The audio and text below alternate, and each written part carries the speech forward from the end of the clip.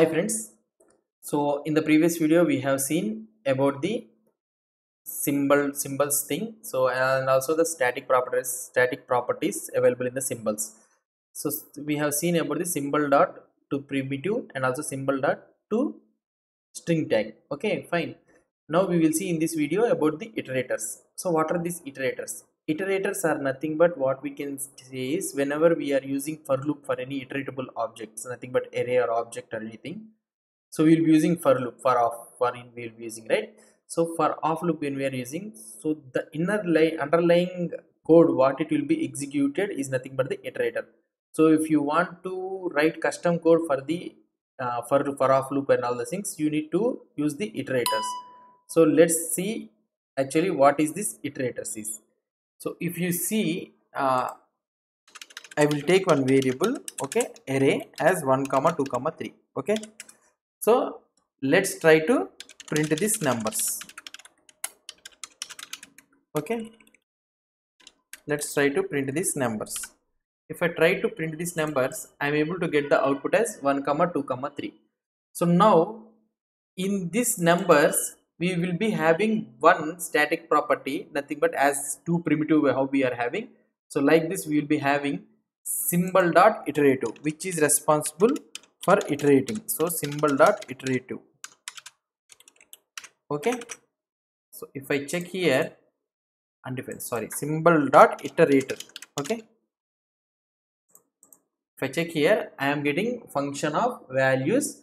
So, so it is it is returning a function. Okay so what i will try to do i will try to execute this function. Okay? So like this. So if i try to execute this function i am getting object of array iterator. So it is returning the object of array iterator. What is this array iterator? If you search in google array iterator javascript okay? So we will be we will be going to the mozilla firefox. See sorry mozilla developer network will go. And here you will be seeing that it is a part of the iterable protocol if you see this iter- iterable protocol and here you are having only one property with next. So that too next is a function. So that means what we can expect here this array iterator consists of a property of next which is a function. So what i will try to do is i will try to save this one in one variable okay iterator function. I will name it like this okay. So now this contains iterator function consists contains the array of array iterator now array iterator as we saw in the documentation that it consists of one property. Next that is also a function. So what i will try to do? I will try to print that it function dot next. Okay? Let's see let's see what could be the output.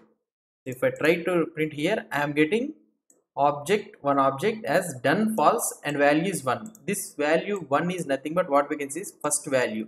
And done false why it is telling is that means the numbers what the, the data what is present in the numbers array is not yet completed so you need to get the data. So now again if i print next here okay? Now if i do again i am getting another one done as false and value second value i am getting. Again I, if i press this one now i am getting again third one as the value 3 and again still it is done false c. So that means the for loop for off loop when you think so this is the underlying logic what it will be doing. So now if i print if i write again now if you see here done is true. So that means done has done that means the total number of data present in the number array is completed. So done true will. So then only the for loop will exit from there. So now what i will try to do is let's try in this code. We will try to implement our own custom iteratable thing so that if we use the for loop it will execute that logic. So okay so now i will remove this all code okay? Now i will remove this all code and i will write new function. So something like here i will go okay? Now what we can do is so i will remove this one also. Numbers of okay symbol dot iterator okay? I am overriding the function. So function i am right we are writing our own function okay? So now what we can do is so it it has to return an object. So that is nothing but array iterator it has to return the array iterator that means array iterator what it will consist of? It will consist of next thing. So that is also a function. Okay. Array iterator next is also a function. And this function also returns an object which contains of done. So false and true we need to maintain. And i need to return what i can say is value. Okay value 10 so now if i do this one if i write this one and if i try to execute this one using what we can say um, let it function is equal to so number numbers of symbol dot iterator.